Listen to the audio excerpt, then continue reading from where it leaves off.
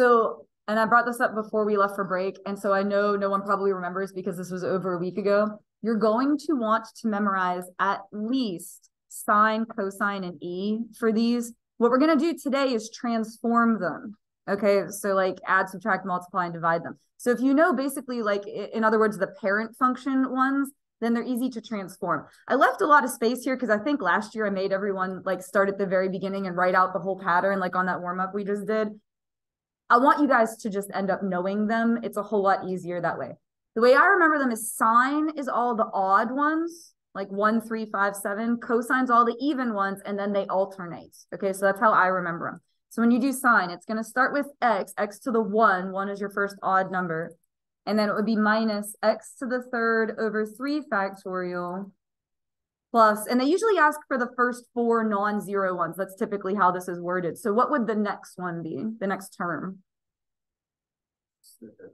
X to the fifth over 5 factorial, and then minus x to the seventh over 7 factorial plus dot, dot, dot, now, they usually ask for the first four non-zero ter terms and the general term. The general term can be difficult to write. First of all, this alternates. So you're going to need a negative 1 to the n or a negative 1 to the n plus 1. This is your zeroth term. That's how they do all of these. So the first one is actually 0, and then this is the first term, second term, third term here's how I have found is the easiest way to do this, like in my mind, and this is kind of however your brain thinks kind of thing. But what I'll do is off to the side, I'll write zero, one, two, three. So for the zeroth term, I want the power to be one. For the next term, I want the power to be three, and then five, and then seven. And that just helps me mentally go, okay, what do I need to do to match them up? Now I want it to be negative one to the n because if I start with zero, if you plug in zero, that'll make this positive and the zeroth term is positive. If you plug in a one, this will be negative. Your next term is, are you following me there? If it was the other way around, you would just put an n plus one and that would make it be the other way. All right, so then we have x to what power? I want you to think about it if you plug in zero, you want to be able to get one. If you plug in one, you want to get three. If you plug in, basically, these are your inputs and these are your outputs, and you're trying to come up with a function that if you plug in this, you'll get this.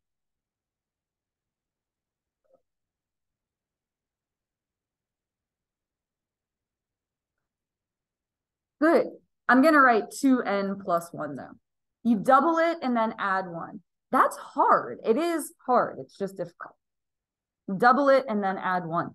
And then in the denominator, you want it to match, but be a factorial. Like if it's three, it's three. If it's five, it's five. If it's seven, it's seven. So it's going to be 2n plus one factorial.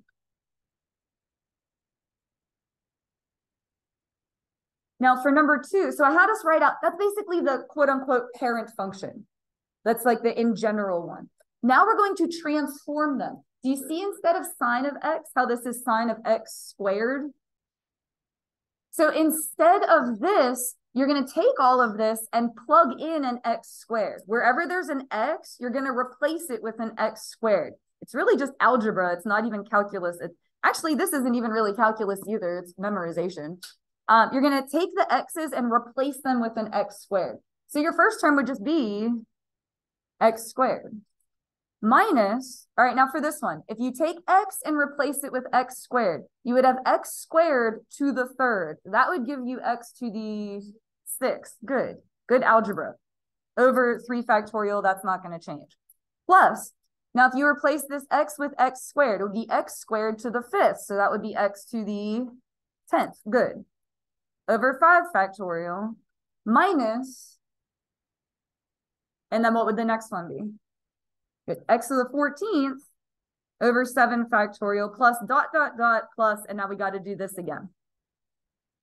So it's still going to be negative 1 to the n. And the denominators didn't change. Do you see how those are all still the same? So it'll still be 2n plus 1 factorial. So like the, the alternating of it didn't change and the denominators didn't change. We just have to change this part. So again, the first term is actually the zero term. And again, you can think through this however you want, but this is what helps me. I'll write out zero, one, two, three.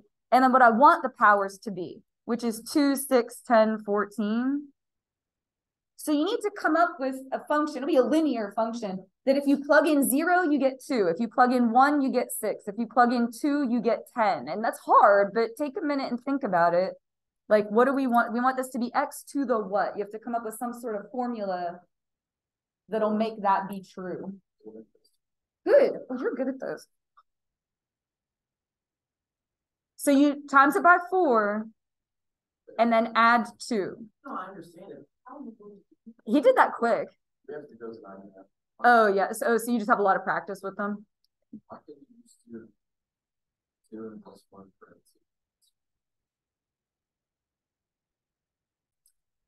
Okay, so for the next one, so for cosine, again, I left a lot of space here because last year I just made my students do it from scratch. I'm past that. I want you guys to just memorize them. It's the same thing. It's going to alternate, but you're going to do all the even ones. So the first one's one. It starts with like x to the nothing. And then it would be minus x squared over 2 factorial. And then plus, what would the next one be?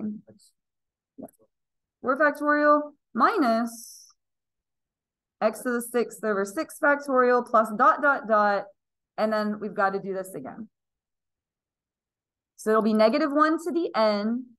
And again, off to the side, I'll just usually write 0, 1, 2, 3. Again, the first term is actually considered the zeroth term and then what I want them to come out to be. So the first one's x to the nothing, and then I've got two, four, six. This one's not quite as bad. Maybe let everybody else try to come up with it. 2n, good. You're just doubling all of them. So x to the 2n, and then on the bottom, 2n factorial. Yeah, that one's a little bit easier for all the even ones. So then when you go to transform it, See how this one's cosine of square root of x? Everywhere there's an x, you're going to replace it with square root of x. Okay? So for the first one, there's not an x there at all. That's just going to stay 1. Minus, now if you plug square root of x in for x, what's going to happen to the square root and the squared? Yeah, cancel. It'll just be x over 2 factorial plus now here, I would think of it this way. A square root means a power of a half. It's really x to the 1 half. So if you put an x to the 1 half in there, half of 4 is 2. Denominator doesn't change. And then minus, what would the next one be? x cubed, again, denominator doesn't change. And then we're going to do this again. So the alternating feature didn't change. You're going to keep that negative 1 to the n. The denominators didn't change.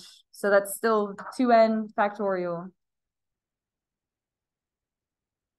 I can write it out off to the side, but this one's actually not too bad because you want the zeroth one to be 0 and the first one to be 1 and the second one to be 2. and so it's just x to the n. That's hard though, in my opinion, being able to write out the general form. But look, if you have these memorized, when you go to transform them, it's not so bad. You don't have to like start from scratch. Like I made everybody do last year. I must have just been thinking evil thoughts. I don't know what I was. All right, e to the x. That one doesn't alternate and it doesn't skip any. You just get everything. So it's 1 plus x plus x squared over 2 factorial plus x to the third over 3 factorial The reason you get everything is because what's the derivative of e to the x? To the x. Do you remember when I made you do that one by hand and it just turned out to be everything? Like, but I want you to have these basic ones memorized because then when you go to um, transform them, it's not so bad. So what would be the general form for this? I don't need a negative one to the n or anything in there because it's not going to alternate.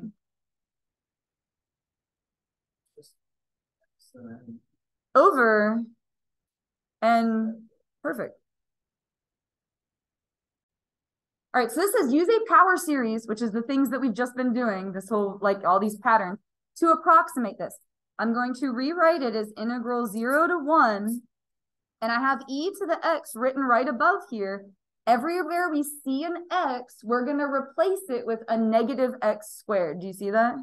So wherever there's an x, you're going to replace it with a negative x squared. That'll be our power series, all right? So 1 is just going to stay 1. If I replace x with negative x squared, all right, that'll be minus x squared. If I replace this x with negative x squared, first of all, when you square something negative, it's going to turn positive. And x squared squared would be x to the fourth. And I'm also going to evaluate this because we're going to do an antiderivative. So that would just be 2. So 1 half x to the fourth. Now the next one's going to be negative. This is going to alternate because if you take something that's negative to an odd power, it's going to be negative. All right, so it'll be subtraction. x squared to the third. The x to the sixth. And do you remember what 3 factorial is? 3 times 2 times 1. Good. So it'll be 1 6, x to the sixth.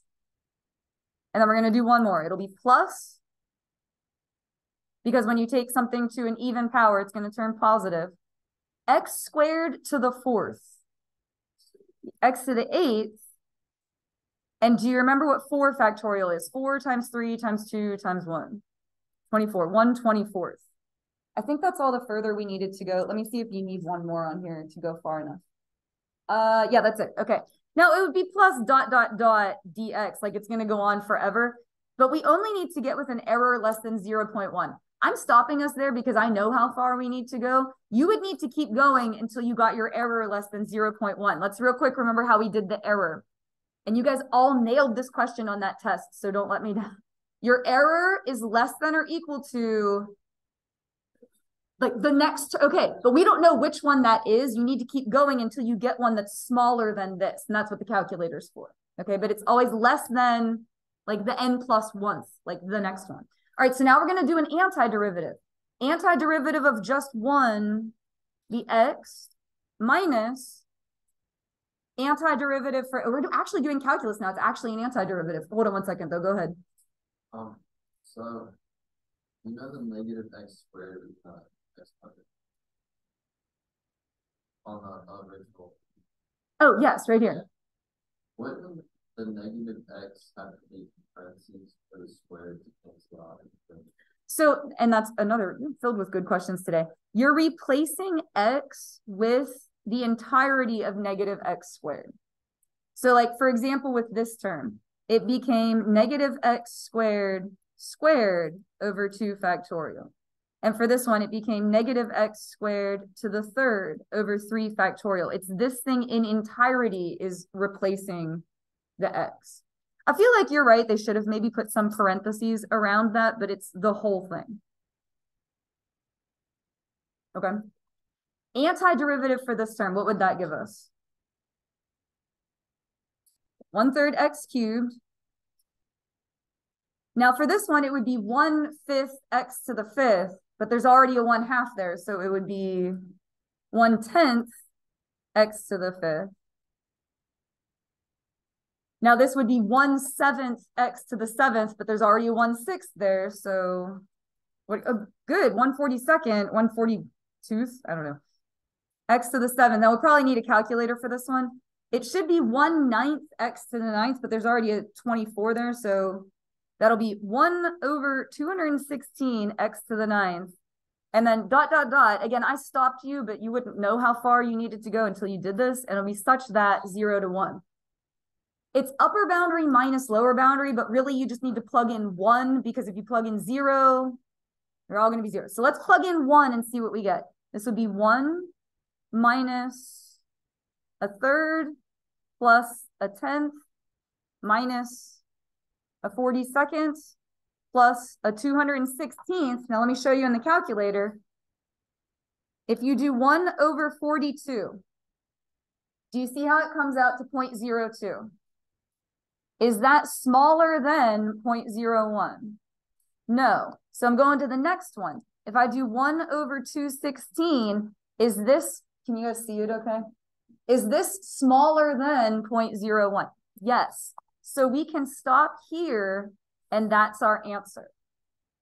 So whatever this equals, that's your answer because the next term is smaller than the error that you want. Do you want me to type that in and give us a nice, neat answer? That seemed like that was bothering you guys. Here, we'll type it in. 1 minus a third plus a tenth minus 1 over 42. 26 over 35. If you want a nice, neat answer, that's the like final answer. Cool. So the takeaway is the error has to be smaller than the next term. So you have to keep going until you get an error smaller than that. All right, given this, find an expression for f of x.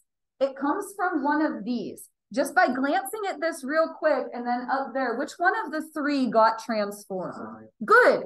It's going to be something times sine. How did we manipulate sine? It's like instead of being given the transformation and finding the answer, it's like you have the answer and you want the question. It's like you have to go backwards. What did we do to sine? We took sine of x and multiplied it by what? Like we took that and multiplied it by what in order? Good. Why is it x squared? Yep, two higher. This is the answer. Now, I took a picture of the textbook and just copied this here. It's not super great, but you can find it in the textbook if you want. These are the ones I think you should memorize is E, sine, and cosine. But there are other ones there that are good, like LN isn't a bad one to know. Um, arctangent sometimes shows up because it's a real simple one. Um, they're there for your viewing pleasure, but I need you to know E, sine, and cosine. Those are the ones I have memorized.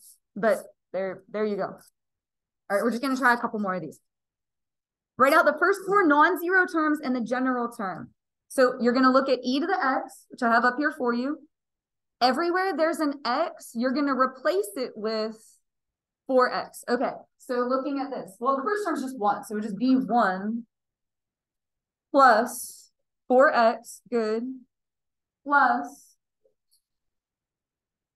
good, plus 4x cubed over 3 factorial. And you could reduce that down if you wanted to. It's not necessary though, so I wouldn't. So that's your first four non-zero terms. Now you need the general term. Nothing alternates, so you don't need a negative one or anything. Your denominator is still just n factorial because that didn't get changed. Um, what would you have in the numerator?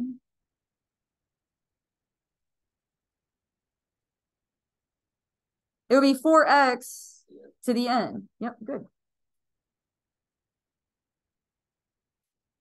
So for number two, you're taking e to the x and you're multiplying every term by an x. So you're basically just multiplying an x through that. So again, if you know these, getting the transformations is fairly simple. It's just algebra. So if you multiply an x through there, just the first four, what would you get? Good. Plus. Good. Plus Good plus x to the fourth. Perfect. Uh, it's x to the first or just x. You're taking an x and distributing it to each of these. So x times 1 would just give you x. x times x would give you x squared. But e to the x, e is 0. So e to the x is this and we're multiplying an x to each one of those terms. So the difference between these is the 4x is like inside the function. The 4x is taking the place of x. So for this one, everywhere there's an x, you're replacing it with 4x because it's inside. This is just x times the function. So you're just taking each term and distributing an x through it or you're multiplying it. Yeah. I think what's bothering you is you're still thinking of e to the x like a function. We're writing e to the x as a power series. Do you remember when I showed you those graphs and we had like a tangent line and I was like, well, this is linear. It's not very good. But then when we did it to the second, it got closer and the third, it got closer and the fourth, it got closer. And if you take it out forever, it represents the actual function or like heads are nodding a little bit. This is e to the x. This is a representation of what e to the x is. So when it says x times e to the x, you're just multiplying x to each one of those terms. It's very difficult concept for us to grasp as human beings because we can't handle infinity and that's not an insult. Like our brains just won't do it. So you have to like think about it but not too hard. For e to the x is one, that's because x is zero, right? yes but we're not plugging in any values here.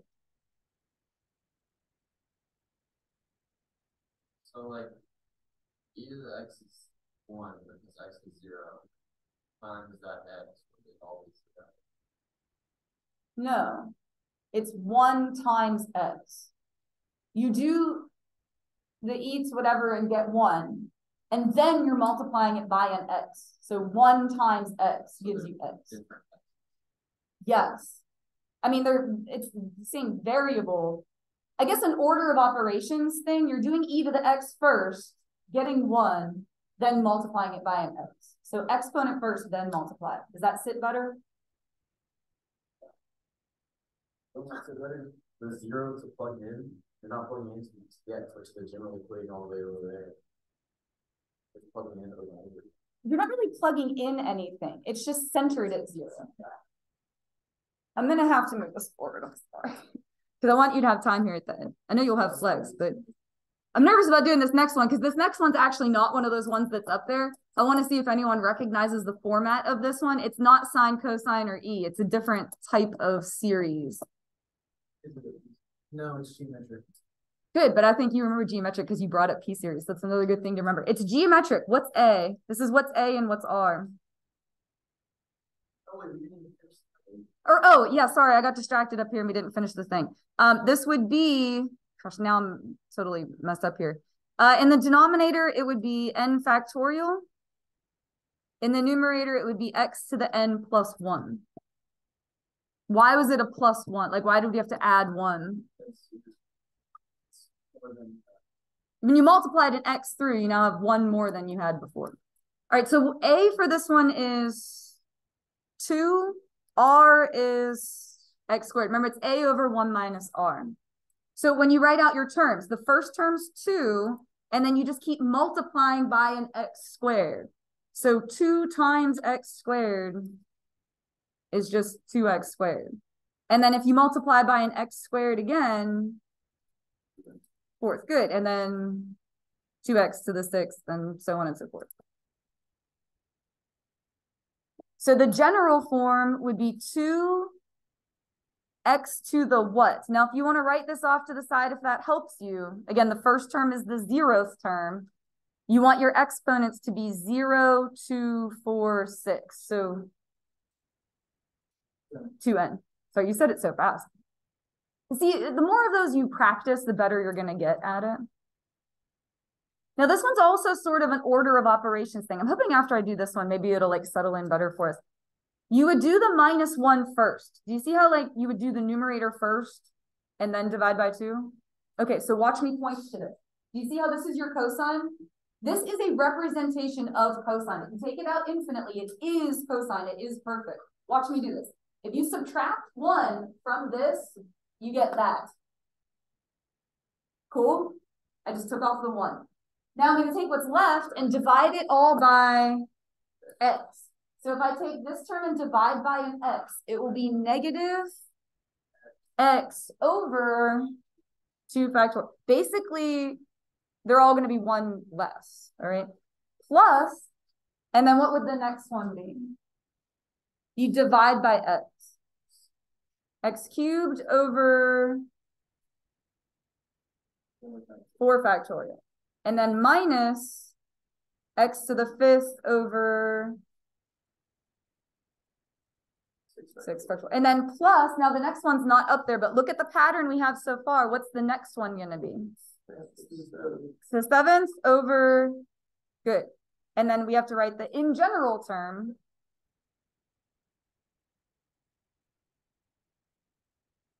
So you're gonna have negative one. This time it's gonna be n plus one. Why is that? You started with the negative instead of starting with the positive. All right, now for the numerators, I'm going to write out 0, 1, 2, 3. I want the first one to be a 1. I want the second one to be a 3. and then a five, and then a seven. So looking at those, I need a formula where if I plug in zero, I get one. If I plug in one, I get three. I'm just looking at the numerators right now. 2n plus 1. So x to the power 2n plus 1. Now, do you see how on the numerator it's a 1, denominator it's a 2 factorial? This is 3, this is 4, this is 5, this is 6, this is 7, this is 8. Do you see how it's only one more? So instead of 2n plus 1, it'll be 2n plus 2 factorial.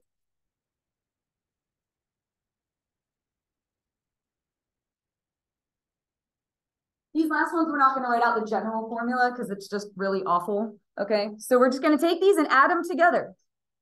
Let me put this one back in here so that it's not missing. What was it, sine and e? All right, we're just going to add them together. You ready? Now you need the terms to go in order. So you're going to start with whatever is the lowest power. So look at sine, look at e. Do you see how the one would come first? You have to imagine all of this plus all of this. So the one would come first. So one is your first term. Now, still looking at these two. Do you see how this one has an x and this one has an x? So together, that would be 2x. It's literally just algebra, but you have to look through all of that, which is a mess. All right? So we're up to here.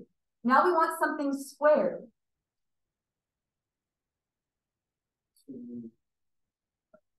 So x squared over 2 factorial.